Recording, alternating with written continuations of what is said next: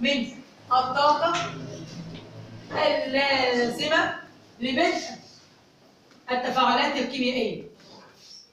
إيه التفاعلات دي؟ تفاعلات الأيض. يبقى عشان يحصل تفاعلات أيض في جسمك أنت محتاج حد أدنى، أدنى يعني إيه؟ أقل طاقة. الحد الأدنى من الطاقة اللي أنا محتاجها في جسمي أو اللازمة في جسمي عشان أبدأ التفاعلات الكيميائية اللي إحنا سميناها طاقة التنشيط.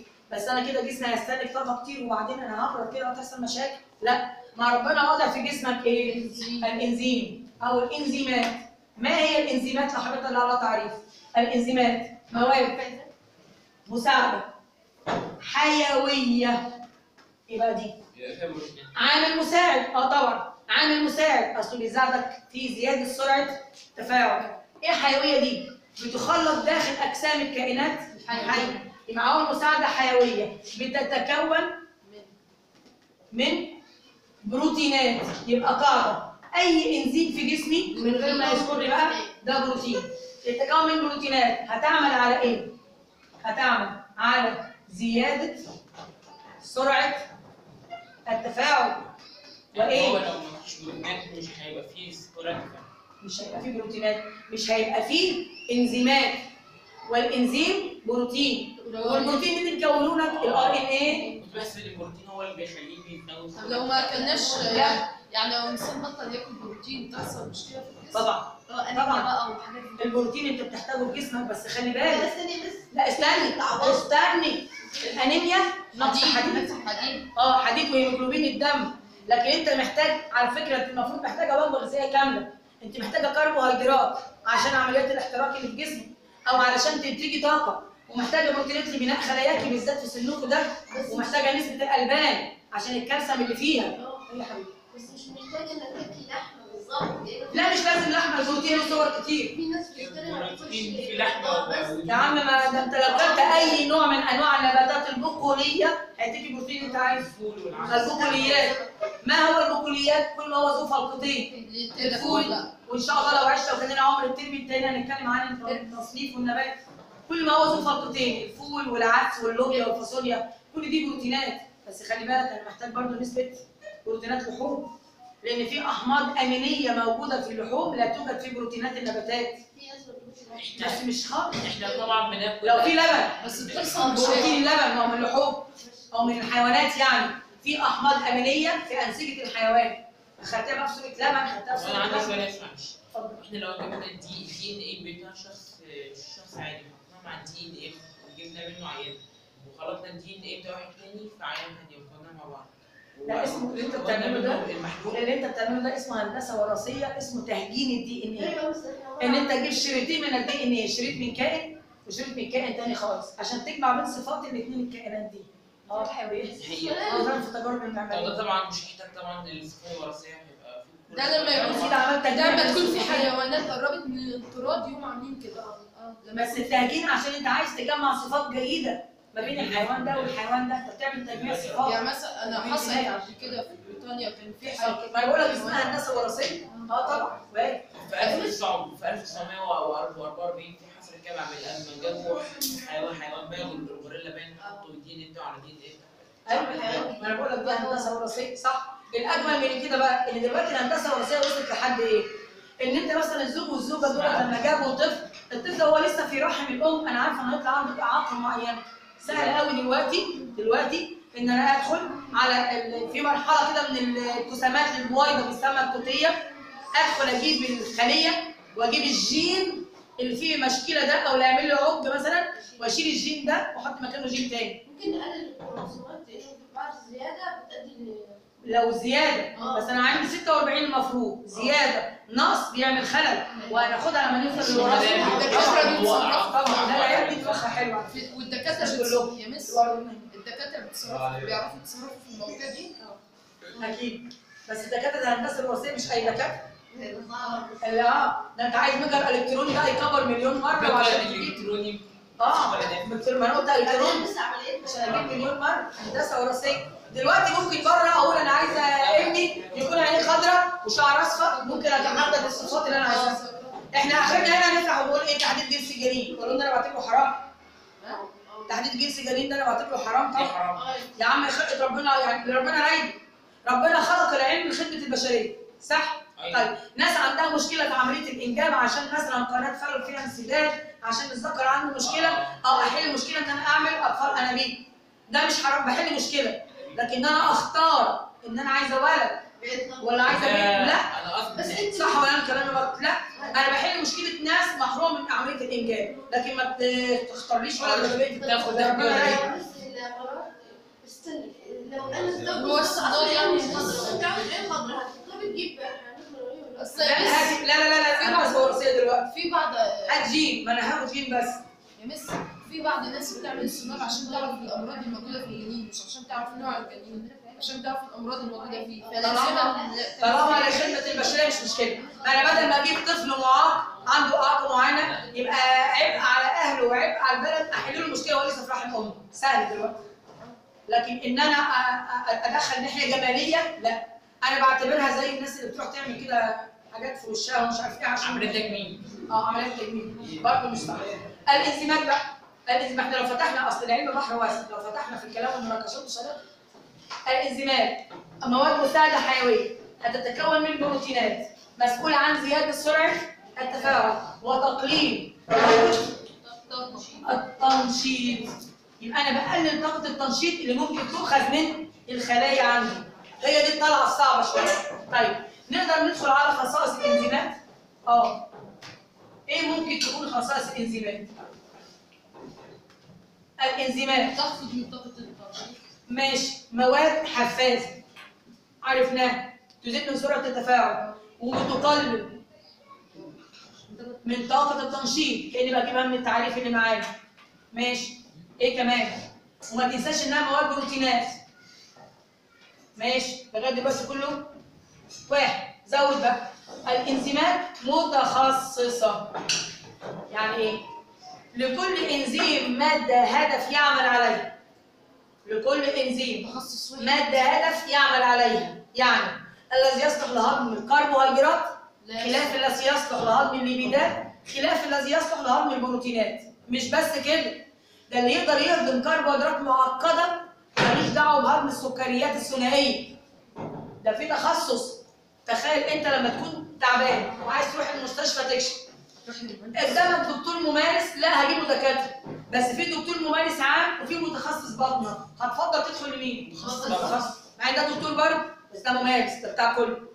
كل ما كان الإنزيم متخصص في عمل واحد أو في هدف واحد كل ما كان أكثر فاعلية. الإنزيمات متخصصة.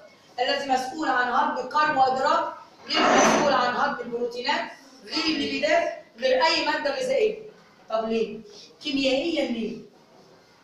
اقولها لك التفاعل بيتم بينهم إزاي؟ أنا أعتبر إن ده الإنزيم. ده إنزيم. له شكل معين أهو. هعمل حرف الاي كده عشان أقول لك إن ده إنزيم. ماشي. المادة الهدف اللي هشتغل عليها لازم يكون شكلها تكملوا بتكمله عارف كأنك بتلعب لعبة بازل. لازم علشان ده يرتبط مع ده يكونوا واخدين شكل بعض. هاتيها لي علميا بقى. ماشي. لازم الجزء ده بيسموه الموقع النشط active site موقع نشط كل إنزيم له موقع نشط كلمة موقع نشط يعني المكان أو الموقع اللي على الإنزيم اللي هيرتبط به المادة الهدف. لازم يكون شكل الموقع النشط يتناسب مع شكل البروزات اللي في المادة الهدف. يعني لو أنا جبت موقع نشط زي ده وقلت لك إن أنا عندي آه، مادة تانية شكلها عامل كده. هل الإنزيم ده يقدر يهضم دي؟ لا. لا. ليه؟ عشان الشكل. الموقع النشط بتاعه مش متناسب مع شكل المادة الهدف. علشان كده كل انزيم له تخصص لأن كل انزيم له شكل للموقع النشط بتاعه. الذي يناسب حركة الكربوهيدرات غير الليبيدات غير البروتينات وهكذا. بس أحيانا غير الانزيم له أكتر من موقع نشط. طب تعالى الأول ناخد الخطوات. هيحصل بينهم إيه الأول؟ وبعدين نرجع للحتة الأخيرة دي. تعالى شوف التفاعل اللي هيتم بين الاثنين آدي المادة الإنزيمية اللي معايا أو الإنزيم اللي معايا. كان شكله كده. وآدي المادة الهدف. شوف حصل بينهم إيه. حصل إيه؟ تداخل. عارفة عاملة زي لعبة البازل دخلوا في بعض. حصل تطابق هيكون لي مادة بنقول عليها مادة وسطية. اصلها لحظات. هكمل التفاعل. هتبص تلاقي المادة الانزيميه أو الانزيم اللي معاك طلع زي ما هو. ما تأثرش. طب والمادة الهدف مثل مثل هدف يتكسر بس الإنزيم ده. برافو عليكي. عشان كده قلنا الإنزيم عامل حفاز. ومن خصائص العوامل الحفازة إنها لا تتأثر. ولا. تستهلك. زي ما دخلت. نفس شكلها نفس لونها نفس كميتها. ما اتاثرتش كل اللي عملته انها إيه؟ اتأثرت وبس. يبقى المادة الإنزيمية عندك فضلت زي ما هي لا تتأثر. قبل وبعد التفاعل زي بعض. مين اللي اتأثر؟ المادة الهادفه يعني مثلا لو أنا قلت جايبة لك سؤال وقلت لك ده إنزيم وهقول لك إن ده مثلا سكر السكروز تقدري تقولي لي ده مين؟ وده مين؟ آه ده جلوكوز وده فركتوز. برافو عليك. بقى سهل يبقى الإنزيم زي ما دخل زي ما خرج. ماشي. وعرفت هو هضم وعمل إيه. طيب. تعالى بقى في بعض أنواع الإنزيمات ليها أكتر من موقع نشر. يعني ممكن يكون في إنزيم تاني عامل كده. عنده موقعين. ادي الموقع الأول مثلا اثنين يدخلوا الموقع. الثاني. يعني بيتفاعل مع مادتين هدف. طب لو أنا جبت لك ده وجبت لك ده أيهما أكثر تخصص؟ ده فوق. لأنه بيتفاعل مع إيه؟ مادة واحدة. طب يغلس عليك؟ هغلس عليك وأقوم جايبه لك كده. ده بيخلص بسرعة. ايهما أكثر تخصص. برضه ما بيخلصش ما الانزيم ما بيتاثرش بس أنا بقول تخصصه. يبقى لو أنا جبت لك الثلاثه اللي فاتوا وقلت لك لي من حيث التخصص. تصاعدي من السؤال الكبير. أقلهم تخصص؟ ده. زود عليه. ده وبعدين ده. ده أعلاهم تخصص. واللي عنده موقعين أقل. طب واللي عنده؟ ثلاثة أقل. الانزيم ما بيتأثرش ولا بيستهلك ليه؟ لأنه ماده حفازه بس خلي بالك إنزيمات الهضم بتتكسر مع الهضم وارجع أكون تاني. بتتكسر. واكون تاني. أنت أكلت دلوقتي فطرت الصبح. والإنزيمات بتاعت الهضم بتاعتك اشتغل على المادة الغذائية بتاعته خلاص. والغذاء نزل والدنيا خلصت. هل الانزيم بيفضل موجود في المعدة؟ ما خلاص اختلط مع المادة الغذائية. واتكسر هو كمان وانتهى خلاص. جيت كلت بعدها بساعتين. ادخل على ال RNA تاني. واعمل الشفرة تاني. وروح ابني تاني. واهدم تاني. فاهمني؟ عايز أقول لك إيه؟ عشان كده على فكرة ال RNA مش ثابت. ولا الانزيم ثابت. كل مرة بتاكل فيها لازم يحصل نفس الحاجة كل مرة. بس البروتين وحتى الهرمونات. الدرقية بتنتج هرمونات على فترات. هو ما بيتأثرش بالتفاعل نفسه. ما بيبقى لو أنت بتتكلم عن تفاعلات الهضم لا بتتأثر. هي مش بتتحلل بس بتنزل مع الإخراج. ما اتكسرتش ما بالتفاعل هي زي ما دخلت زي ما خرجت. لكن أنا عايز أقول لا تبقى في جهازك الهضمي هي نزلت مع الاخراج خلاص. وكونت تاني مع كل مرة باكل فيها وهكذا. حتى الهرمون الهرمون قام بوظيفته الدرقيه بتاعه الثيروكسين مثلا. قام بوظيفته وبعد كده هيفضل موجود في جسمي؟ يعني أنا عايز الدرقيه تنتج لي مرة واحدة وخلاص في العمر؟ كلت. المعدة أنتجت لي إنزيم اسمه البيبسين هناخده المرة الجاية. يفضل موجود في المعدة بقى مستني أي أكل ينزل له؟ لا هو نزل خلاص مع الاكل ومع كل مرة بتاكل ببني تاني وببني تاني. شفت اهميه الار ان إيه معاك إيه؟ أنت في حاله بناء مستمر. جسمك بيتعب. يبقى الإنزيمات متخصصة. لأن لكل مادة هدف. ها؟ إنزيم معين مسؤول عن. عملية هضمها اللي هي اللي أنت الحاجة اللي أنت هتحرقها. أو طيب. الإنزيمات تتأثر في عملها بيه.